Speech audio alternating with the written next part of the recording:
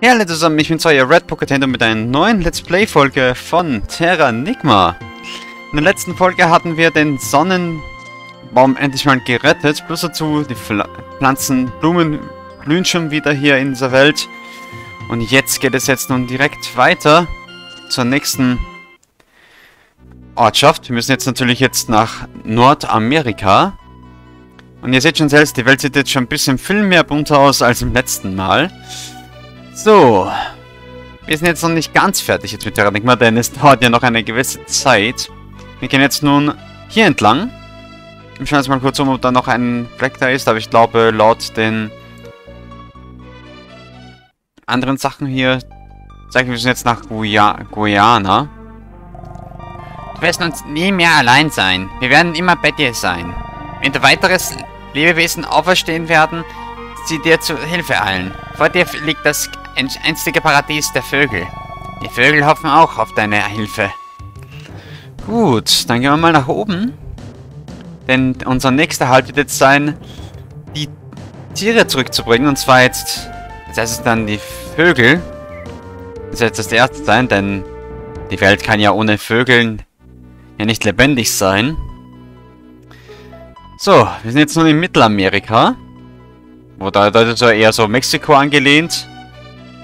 Und sind jetzt schon jetzt in Amerika angekommen. Hier ist natürlich irgendetwas hier versteckt. Das habe ich letztes Mal in meinem Stream total übersehen. Da sind noch ein paar Truhen, die wir noch plündern können. Da gibt es natürlich ein paar Knollen. Und 348, 78 Taler, die uns sehr, sehr nützlich sein können, im späteren Zeitpunkt. Gut. Mal sehen, was wir noch machen können. Wir schauen uns mal kurz noch um. Ein Overworld Battle gibt es natürlich nicht wie bei Final Fantasy, ist ja logisch. So. Hier hat man jetzt noch ein bisschen die Übersicht hier in Colorado, also hier ist schon Kalifornien. Das ist schon eher Kalifornien. Da die Wüste ist eher wie Nevada, das weiß ich ja selbst. Ich weiß aber in Amerika, by the way. Nur in den westlichen Ländern. Welche Tragik, Ark. Eins war dieses Land ein Vogelparadies, hörst du sie? Die Schreie der Vögel vom Trau Trauerfelsen im Norden des Landes. Jemand hat ihnen die Lebensquelle geraubt. Seit Jahren warte ich auf ihre Rückkehr. Dann können wir jetzt noch extra kaufen. Aber ich glaube, da wird jetzt eher weniger der Fall sein, dass wir was brauchen, was uns nützlich sein könnte. Außer wir können jetzt mal in Ruhe mehr Gegengift kaufen. Ist auch nicht so falsch. Beim Magier können wir noch was besorgen, aber ich glaube, das brauchen wir natürlich nicht, weil ich benutze ja die Magie eher sehr selten hier. Zum Beispiel mal vorspeichern einmal. Mehr ist nicht zu sehen. Hier ist natürlich das Vogelparadies, aber das wird dann später dann sein. So, da es jetzt keinen anderen Weg mehr gibt, also jetzt, wir müssen jetzt dort zu diesem Berg hoch, denn das ist jetzt unser zweiter Dungeon im Spiel. Und zwar Greg Cliff. Mal sehen, wie weit wir jetzt heute das durchziehen werden, den nächsten Parts, weil...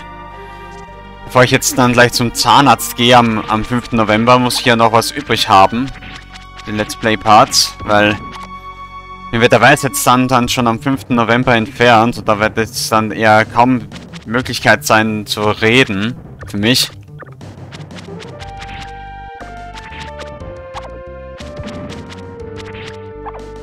Ist aber interessant, dass Deini nur mit Level...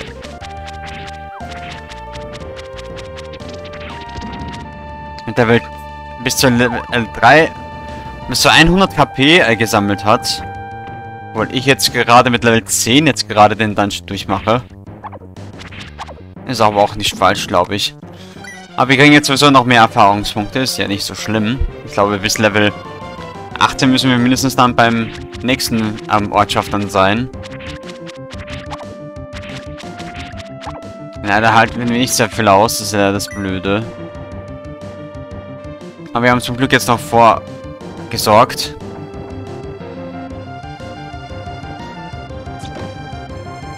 Hier ist noch etwas. Ja. Komm schon. Na, stirb doch endlich.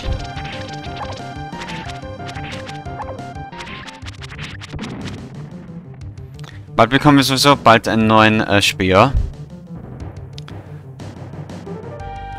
Aber ich weiß, dass Elstar ist ein sehr, sehr äh, nerviger Boss gewesen, wie ich mich noch erinnern kann. Aber den habe ich locker geschafft. Im privaten Stream damals. Hier ist ein Kraftelixier. Nochmal schon ein Knöllchen futtern. Dann können wir noch natürlich die HP erhöhen, aber das will ich erst später machen. Wir können natürlich klettern, aber das können wir jetzt derzeit doch nicht. Schauen wir mal ganz gründlich nach, ob wir nichts verpasst haben. Oh, da sind diese Schlammmonster, die man kaum treffen kann, außer mit Steinen.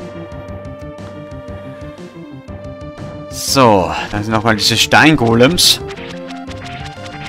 mal richtig mal richtig verkloppen, diese Viecher. Und ich finde, dieser Soundtrack in äh, Terranigma, wenn man... Das wird ja sogar immer in den Waldgebieten, als auch hier in diesem Dungeon auch genutzt. Häufigerweise, aber... Wir sind ja schon selbst das... Für viele Leute war Terranigma einer der beliebtesten äh, Action-RPG-Spiele im ganzen europäischen Raum. Natürlich im japanischen und europäischen Raum. Ist aber leider überraschend, dass es nicht in Amerika rauskam, sondern nur bei uns in Europa, als auch in, in Österreich und Deutschland. Offiziell. Ich weiß, es gibt auch natürlich eine bessere Übersetzung, aber ich bleibe natürlich im originellen ROM.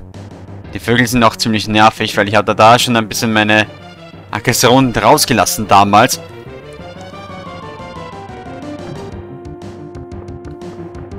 Ich hoffe, dass ich jetzt nicht meine ganzen Knöllchen jetzt verscheißen muss. Ja, wir können ruhig mal jetzt mal doch jetzt nutzen. Den Krafttrunk, damit wir extra mehr bekommen. Ja, da wird es nur um 1 erhöht. Aber es wird von Level zu Level dann immer höher. Deshalb ist es auch nicht so falsch, dass man jetzt etwas machen wird. Und da sind auch Geoblaster, die uns paralysieren. Noch ein bisschen lästig, aber da muss man die schnell killen. Bevor man wieder paralysiert wird und der Golem uns richtig bekloppt zum Frühstück. Na komm.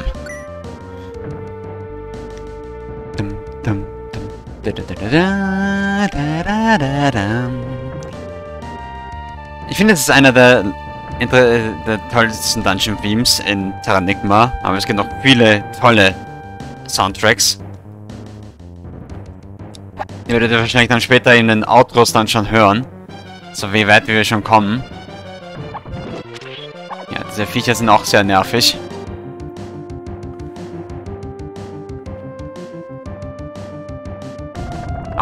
Oh Mann.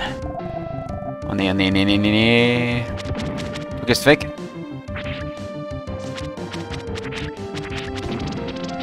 Und bald bekomme ich eh schon bald den nächsten Level.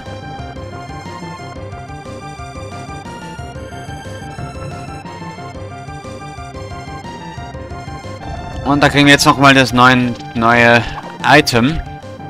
Nicht einmal, eine bessere Waffe. Die aber sogar in den zukünftigen Dungeons möglich sein wird. Und zwar den Granitspeer. Der Granitspeer kann natürlich ähm, Felsen zerstören. Wie die hier zum Beispiel, die jetzt gerade gedroppt ist. Und die wird jetzt wahrscheinlich in den zukünftigen Dungeons auch sehr, sehr nötig sein. Also verkaufen ist nicht die richtige Wahl oder abwerfen in den schwarzen Loch, weil sonst seid ihr dann echt gesoftlockt. Also die schwarzen Felsen müsst ihr immer in Acht nehmen. dass wenn die, die kann man natürlich nicht verschieben. Man muss sie natürlich mit einem Speer zerstören. Natürlich ist es auch bei Steingolems, macht es einen enormen Schaden. Genauso wie bei diesem Stein-Geoblaster hier. Und da haben wir schon Level 11 erreicht. Na, sagt's denn. Und die KP erhöht sich auf 9. Besser als gar nichts.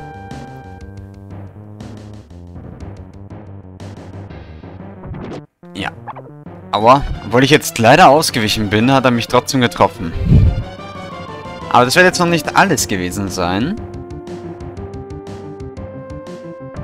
So, schauen wir mal jetzt da an der anderen Seite. Ist da was? Ja, da ist was zum Klettern.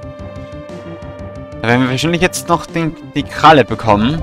Der Geoblaster hat mich trotzdem getroffen, obwohl ich oben bin, weil es natürlich ein Erdbeben verursacht.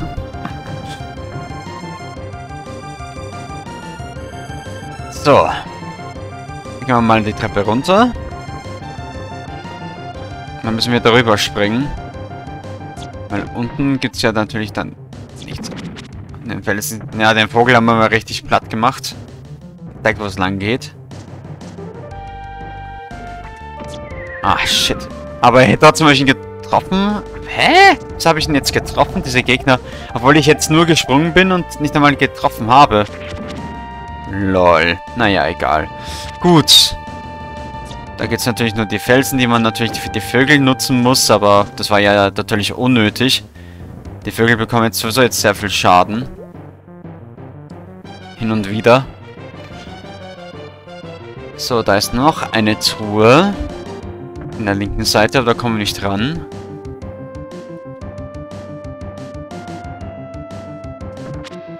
Okay, die können wir auch noch natürlich aufheben, aber das ist ja leider jetzt nicht möglich. Weil es nur, so nur ein Dead End ist. Dann gehen wir mal dort nach oben, zu die Ranken.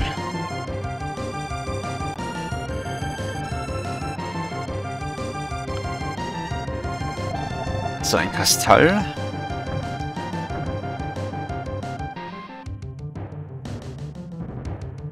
Und da sind auch diese Felsen wieder.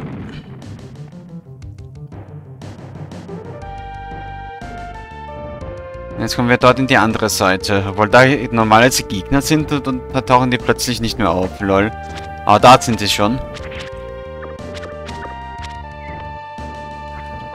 Die Schlammmonster sind ja auch ziemlich lästig. Also dem muss ich lieber ausweichen, weil die machen nichts anderes als Ärger. Die Vögel sind auch die größten Plagegeister im Spiel. Ah, diese Gegner, ja genau, die habe ich auch zu sehr gehasst. Als ich das privat gezockt habe. Die haben so viel enormen Schaden gemacht. Im späteren Spielverlauf gibt es noch solche krasse Martial Arts Shigi-Viecher, ne? Ich nenne sie einfach Shigi-Viecher. Was auch immer die sind, ich habe keine Ahnung. Wie die genannt werden. So, da sind wir jetzt schon mal dort in der Spitze angekommen.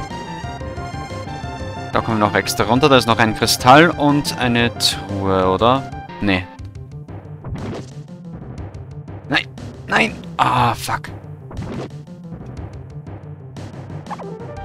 Ich muss mich einfach durchquetschen, geht nicht anders.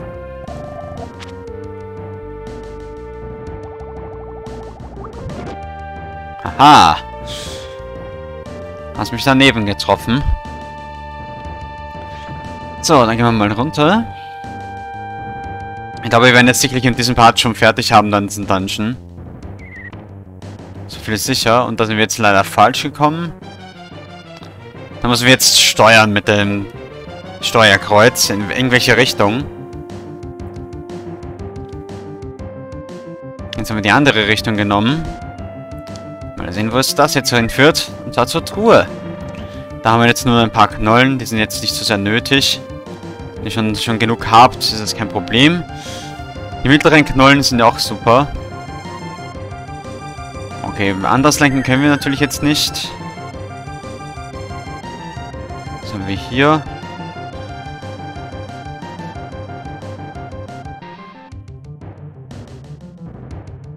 Okay, dann schauen wir mal, was dort hier geht. Ah, da sind wir schon jetzt mal richtig, glaube ich. Ja, da werden wir jetzt nicht geröstet, sonst die Golems sind auch einige der nervigen Gegner. Die kleinen Viecher tauchen immer wieder auf und verschwinden wieder, wie kleine Feiglinge. Ah ja. Müssen wir durchrushen. Also wir rushen uns durch, bevor dann der Geoblaster jetzt ein Erdbeben verursacht und dann fliegen wir dann in den Abgrund. Das wäre nicht sehr, sehr gut.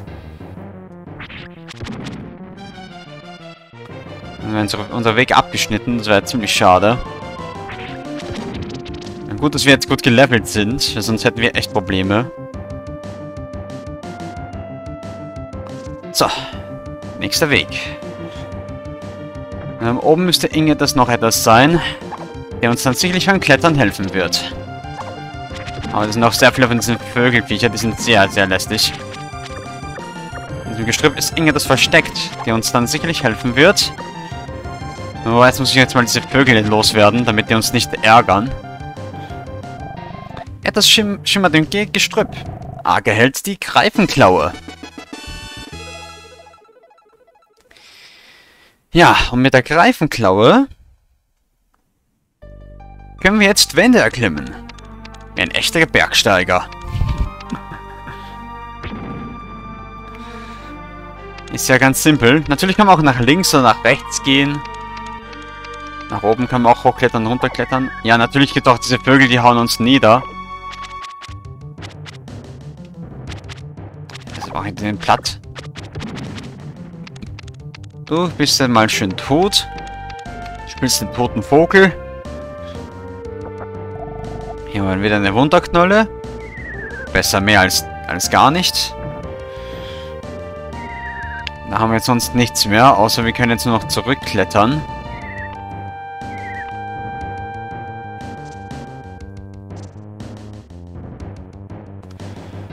Schauen wir mal, was es jetzt noch gibt, weil ich glaube, wir sind jetzt nicht mehr so weit weg bis zum Boss.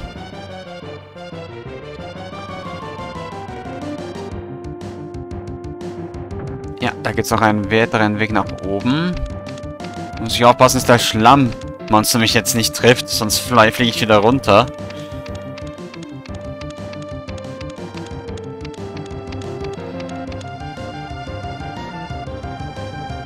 Man hat jetzt zwei Wege. Entweder man kommt jetzt am Anfang hier rüber des Dungeons oder in andere Richtung auch.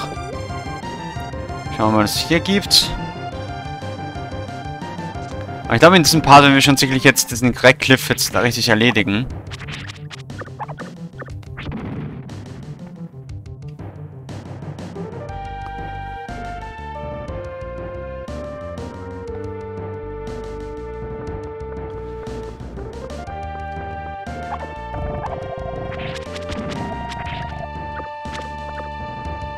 Natürlich, dieser, dieser Berg existiert natürlich nicht, aber es könnte sein, dass es irgendwie mit den Rocky Mountains angelehnt. Ich weiß nicht, ob der Greg Cliff tatsächlich an den Rocky Mountains ähnelt, bei Colorado, beim Bundesstaat Colorado. Ich weiß selber nicht in, in Colorado. Aber so wie es aussieht, ist es wahrscheinlich angelehnt an ähm, den Rocky Mountains in Denver, Colorado. Oder... Gr Nein, ist es nicht der Grand Canyon? Nee. Blödsinn. Es kann sein, entweder der Rocky Mountains oder... Es ist einer der höchsten Berge in Amerika natürlich angelehnt. Ich weiß nicht, was es sein soll. Aber wenn ihr das wisst, schreibt in die Kommentare.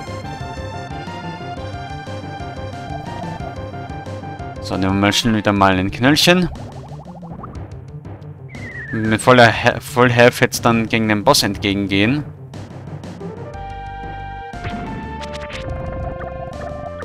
Hier ist noch ein... Ja, komm. Hm.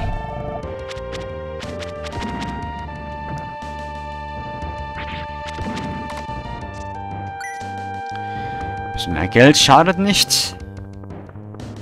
Ah, da waren wir schon mal, glaube ich, oder? Ja, genau.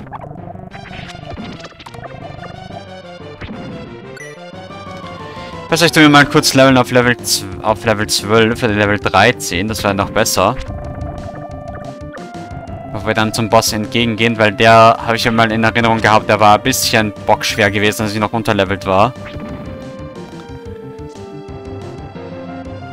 Wir erreichen schon bald die 1000 Goldtaler.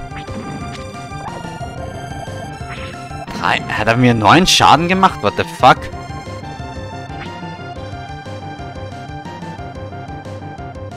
So, wie viel... Mal kurz zur Bibliothek mal kurz nachgucken. Wie viele X XP brauchen wir noch? Okay.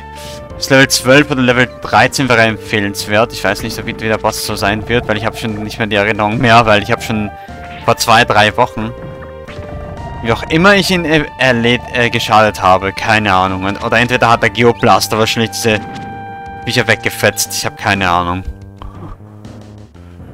Obwohl ich nicht einmal die Speer gezückt habe. Hat trotzdem Schaden gemacht, aber ich glaube, der Geoblaster macht es sicher. Kurzer Prozess mit diesen Viecher. So, dann mal ein bisschen kurz grinden bis auf Level 12, dann sind wir, kommen wir dann problemlos zum Boss.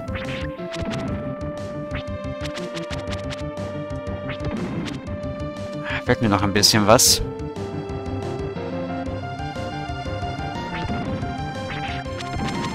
Übrigens, es gibt kein Upgrade mit den ganzen ähm, Goldtaler. Also man kann mindestens 9999 Goldtaler tragen. Also es gibt keine Upgrades wie bei Zelda und so weiter. Wie auch immer der Geoblast, wie auch immer der Vogel stirbt. Ich habe einfach nur keinen... Ist mir immer noch rätselhaft. Obwohl ich nicht einmal einen Schaden gemacht habe wie ihm. Jetzt sind wieder die zwei gestorben. What the hell? Der Geoblaster hilft mir irgendwie ein bisschen mehr zu leveln.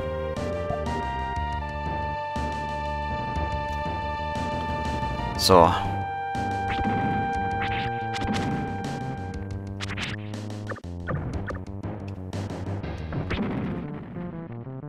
Aber ich glaube, wir werden schon unterwegs auf Level 12 schon kommen. Okay, da geht's noch weiter. Dann klettern wir nochmal runter. Nehmen den anderen Weg. Ja, anscheinend sind wir jetzt schon den richtigen Weg jetzt zum Boss.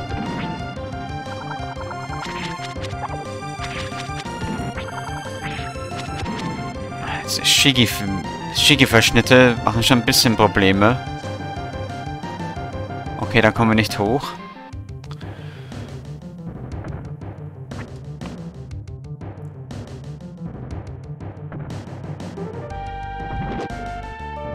Netter Versuch.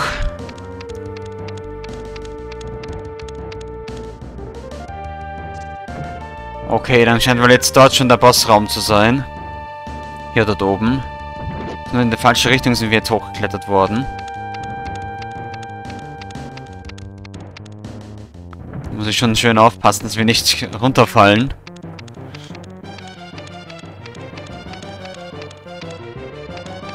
Es aussieht, wenn wir heute mit dem Dungeon jetzt fertig sein. Ich weiß, wir haben jetzt nicht alle Truhen geschnappt, aber das sind ja sowieso nur wahrscheinlich nur äh, Taler dort gewesen und ein äh, paar Knollen. Die sind ja nicht so sehr nötig. Also werden die Truhen auch hier so bleiben, wie die sind. Wenn wir schon, man kann ja nur mindestens neun tragen bei jeder Sache. So, dann heißt es jetzt auf zum Boss. Und der war für mich meiner Meinung nach eher einfach, aber im zweiten Run habe ich ihn als einen schweren Gegner vorgestellt, aber ihr werdet schon denken, wieso ich den Boss nicht so sehr mag. Jetzt geht's los. Da ist schon der Boss. Er ist ein Vogel. Der Boss ist natürlich kein anderer als ein Vogel. Die Taktik ist so, wir müssen natürlich seine Projektil mit, mit einem Schutzschild verteidigen. Es kann sein, dass er dann drunter kommt, jeden Moment.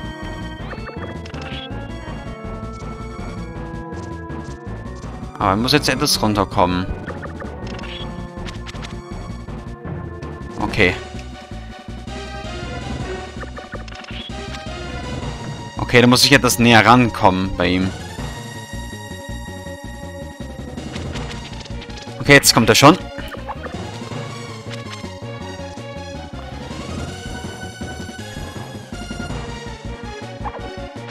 Natürlich macht er nur 8 Schaden, aber keine Sorge, wir haben noch 100 Knollen. Und jetzt holt er schon seinen, seinen Kollegen rüber. Aber der, den müssen wir doch natürlich ignorieren. Aber der muss schon aufpassen, der schmeißt Scheiße auf uns. der schießt uns mit Kacke auf den Kopf, um uns zu abzulenken.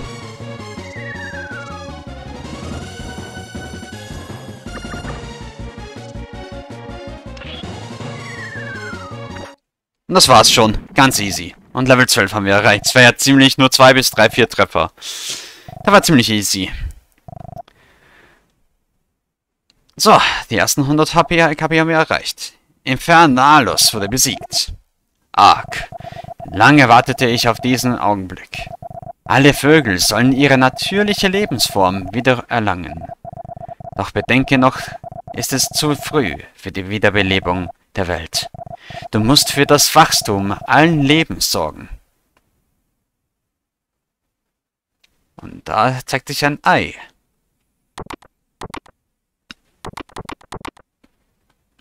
Das bedeutet... Ein Stück Leben kehrt wieder zurück in die Welt, und zwar die Vögel.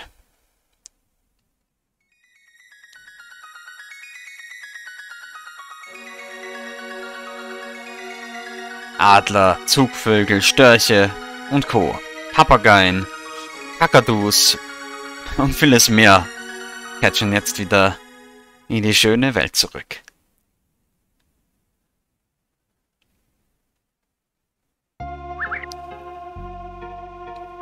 Und da sind wir schon. Das Sanktum sieht jetzt schon viel größer aus im Vergleich von damals. Gut. Wir können auch mit den ganzen Vögeln jetzt äh, ein bisschen kommunizieren, aber so wie es aussieht, reden nur ein paar Leute Dinge nur. Ich bin nur ein umherziehender Nomade. Soll ich dir ein Liedchen trällern? Ja, bitte. Wie schön, du bist ein wahrer Freund der Muse.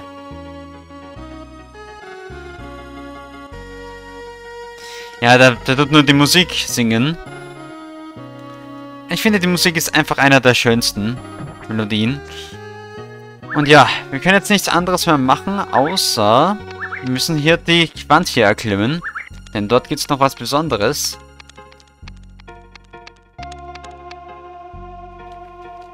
Und zwar das King Nest. Mit den Sachen können wir noch kontaktieren. Ihr Königsvögel bewohnen Nester in luftigen Höhen. Im höchsten Nest von Dumba, unser König.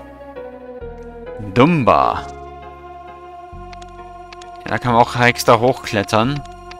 Aber da, da fliegt jetzt schon der Vogel für uns weg. ich habe Hunger, großen Hunger. Aber ich warte auf meine Mama. Ich bin brav. Ich bleibe allein zu Hause. Das kann ich schon. Einst kamen Menschen und strahlen die Eier. Doch nun, nun herrscht endlich Frieden. Wir haben keine Angst mehr davor. Ja, die, die, ich weiß ja selbst, die Vögel waren ja natürlich auch manchmal teilweise misshandelt von den Menschen, aber... Das kann schon stimmen. Du hast unsere Lebensquelle wiedergegeben. Ich möchte dir im Namen aller Vögel danken. Danke. Nicht der Rede wert. So, dann gehen wir mal schnell nach oben.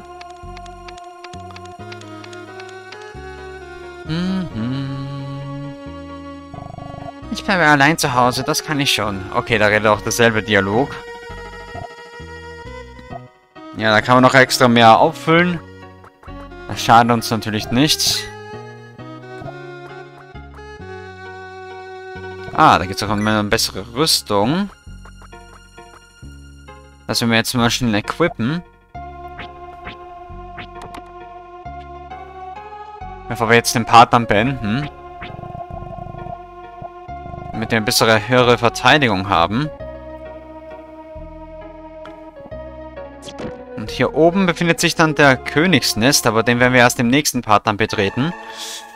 Also, wir sind jetzt noch am Ende des Parts angelangt. Und Leute, falls euch dieser Part gefallen hat, lasst gerne ein Like da und falls nicht geschehen, gerne ein Abo, damit ihr mich unterstützen könnt für die zukünftigen Let's Plays, die noch auf meinen Kanal kommen. Wir sehen uns in der nächsten Folge. Haut rein, euer Red Nintendo. Ciao!